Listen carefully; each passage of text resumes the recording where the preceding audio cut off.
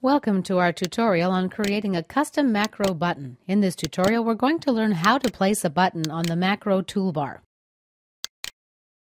I'm going to call up the macro that we just created. Customize, Commands, and Macro. Now let's grab the new macro button and drag it to the toolbar. The Customize Macro button dialog window opens. Here we can choose the image, type a tooltip, and a prompt.